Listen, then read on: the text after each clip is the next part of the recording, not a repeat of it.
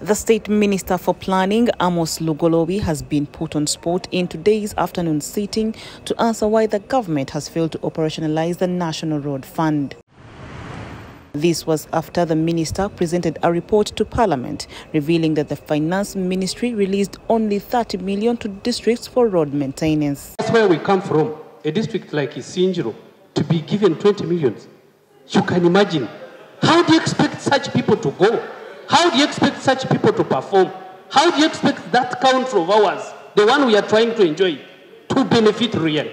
Me was of the view, Right Honorable Speaker, that if there is any problem, if there is any problem, as in far as this ministry is concerned, the gentleman should stand and give us real information on the floor. We see how best we can get this money so that our, our activities can continue working and moving on well without having any challenge.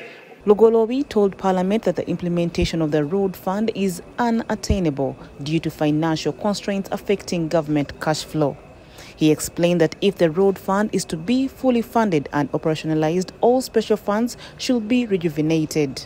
Whereas the above special funds were legally created, it's no longer tenable to operationalize these funds, given the current trends, reforms, and the potential negative consequences.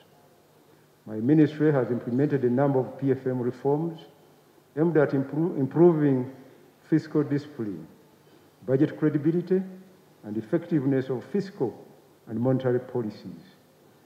This sparked uproar from members of parliament questioning the minister why the government has to continuously levy 100 shillings on each litre of fuel that is directed to the National Road Fund but fail to fully activate the funds. MPs sought answers from the minister on the state of economy and whether the government can run the budget priorities. This money that goes to road fund is levied on fuel and, and that is what the act states.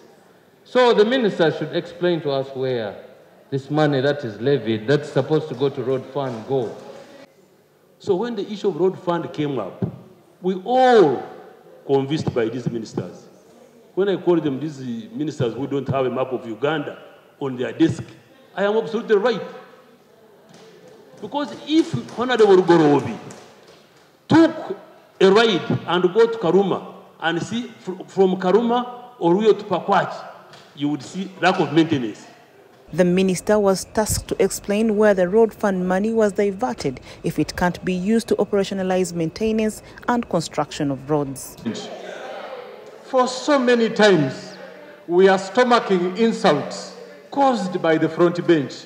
How can someone come, a fund which was created out of thorough research, you stand on the floor of parliament and say we are not implementing?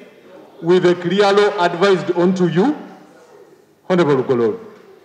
Yes, so right, Honorable Speaker, the Ministry of Finance has consistently refused to operationalize this fund for personal reasons.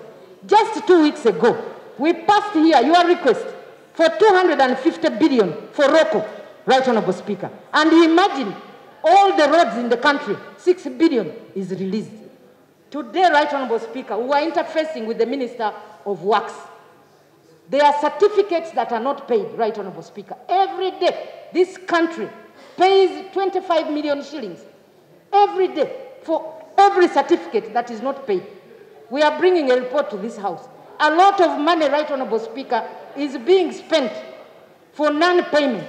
Some legislators threatened to censor the Minister of Finance if they fail to operationalize the road. Right, Honorable Speaker, we just just wasting time here. Members, let us rise up the occasion and censor the Minister of Finance for violating and violating the law.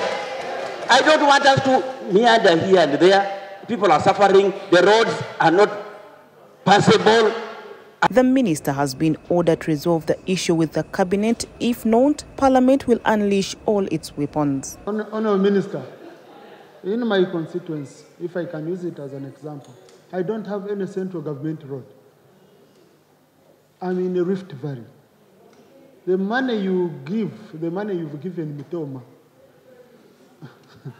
uh, I'm now the one who is government. I'm the one doing bridges. I'm, um, I'm providing culverts. Um, and it's happening to each one of us.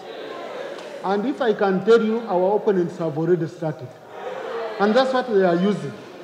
Because, especially for the new MPs, they are saying, no, the former MP was working on roads, government was working on roads. So when he went, he went with the money. The minister has been ordered to resolve the issue with the cabinet. If not, Parliament has promised to continuously pursue the matter. Uh, right Honourable Speaker.